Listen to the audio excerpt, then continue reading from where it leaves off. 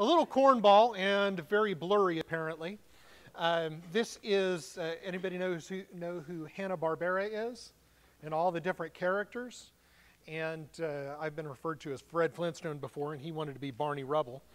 Uh, but basically, the way that I think of myself is I feel more like an orchestrator, an orga, what's the right word? Conductor in an orchestra. Okay, I'm better with numbers than words, so you'll be happy to know that. Um, a conductor because I don't know how to play all of the instruments, but I know how the whole thing is supposed to sound and work together. So, that being it, we have a huge team. So, let's go ahead and get some of those people here. Um, Ken Barjam, stand up and wave.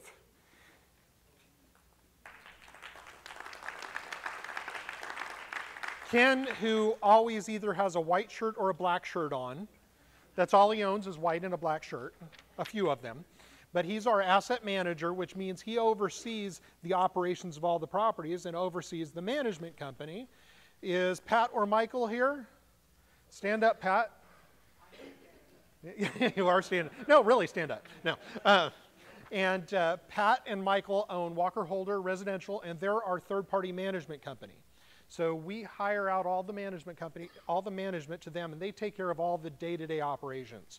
For those of you who have had the call on Thanksgiving with the broken stove and things like that, thankfully I don't get that, that call. They do.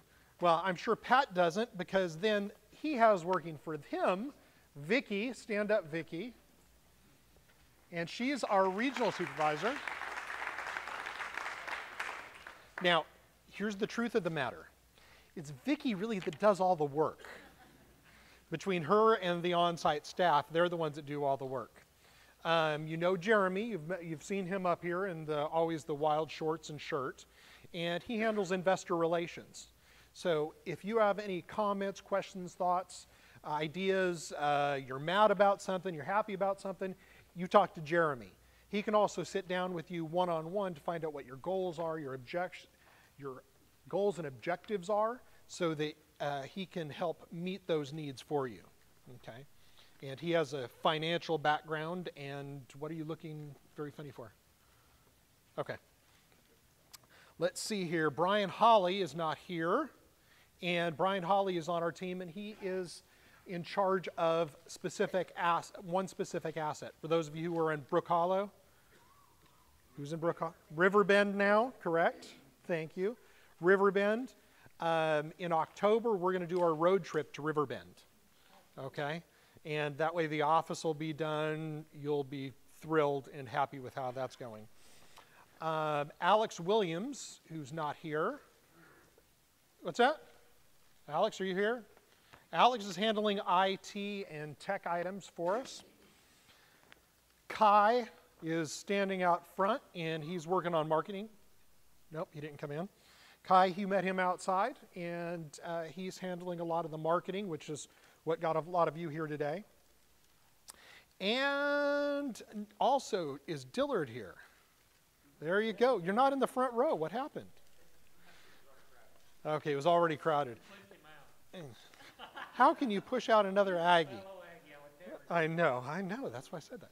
Uh, but Dillard is new to the team also, and he's got a financial background.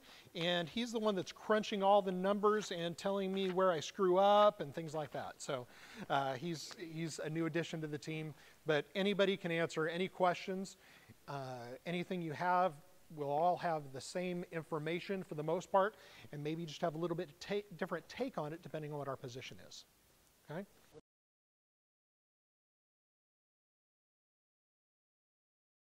Be sure to visit us at darwingerman.com. There you can register for all of our information and see all of the videos. And make sure to like us on Facebook and subscribe to our YouTube channel for more videos.